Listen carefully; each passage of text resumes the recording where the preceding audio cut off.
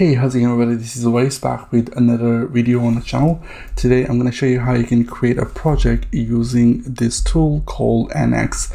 It's a fast build system which allows you to create multiple projects in a monorepo way. So we'll take a look at how do we use this CLI for creating an Angular project and I'll show you how the monorepo can help you to build multiple projects within one single repository. So yeah, without further ado, let's get started with this tutorial. In the terminal, let's start by typing nx create nx workspace and then the name of your workspace. In this case, I'm giving it test project. Once you press enter, you get to choose a lot of options. You get core, TypeScript, React, Angular. What we are interested in is going to be Angular-Nest. Once you select that, specify the name. In this case, I'm going to specify test project and use Sass as style sheet. Select no because I don't want to use NX Cloud to build my projects. It is now installing dependencies using npm. It's creating workspace for us now. There you go. It has created a project for us successfully. Let's open this project in VS Code and let me walk you through the configuration of this project and show you how it you can open your project from terminal in VS Code, type code and then name of your project. Click on I trust the author. Let's go and open package.json file. In package.json file, you'll see your dev dependencies and also the main dependencies. Here you have Angular dependencies. Next you have Nest.js dependencies. So basically it's installing everything in the outer package.json. And these are your dev dependencies. NX also creates us some scripts that we can use to run our project, build our project. If you're using Visual Studio Code, go to extension, search for NX, and the first extension you will see will be NX Console install that. This is an extension to deal with NX commands.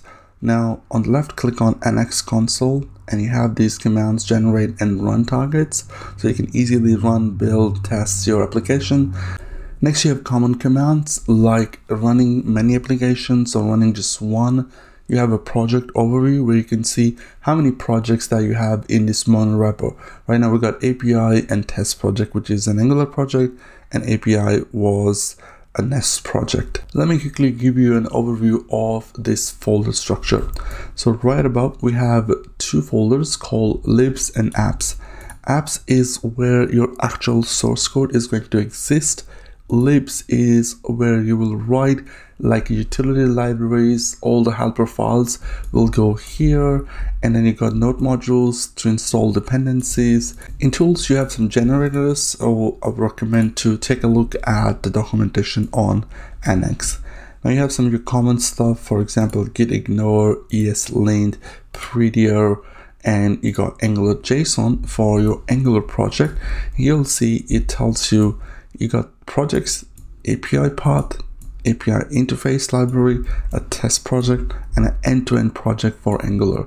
So this all configured automatically for you.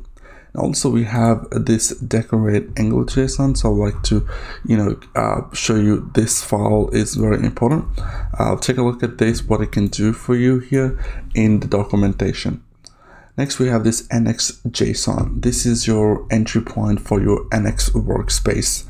So right now you can see on the top here we got some configurations for test dependencies, runners, implicit dependencies, and then you got generators that you can use to generate things like library, component, application. So you can go ahead and configure a few things here.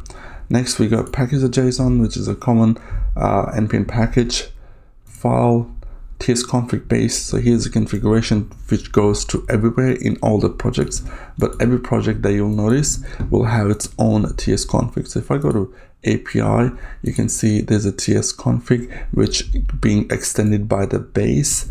Then you got spec config and then app config for the TS. Here's a project JSON in every, every project, you will see a project.json, which will basically have information around your project. For example, where the NX is finding the commands for serve, linked, and test, it's here. So you got serve, executor is going to be this one, and then build target is this one. So this is where the NX console will see all the commands. So for example, within this project, you have a command which will we will be able to serve. You see this project here, but let's go and I'm gonna just grab this and I'm gonna paste it again and I'm gonna say testing command. Save that and then you will notice here this is our API project. So we'll go to API and here you have this testing command. So when you click on this play button, it will run this command. So right now it will actually build it because we're not just using uh, any other script, just using the build. So that's why. So this is how your project structure look like. I have used this in the past. It's a lot easier to configure your project using NX and also it will do all the configuration for you out of the box. And it's pretty easy to work with the backend and the frontend code together in one repository because you don't have to switch between repository, which wastes time. So yeah, I hope this video was helpful for Angular developer who want to use Nest as a backend. So yeah, subscribe to the channel and I'll talk to you guys in the next one. Cheers.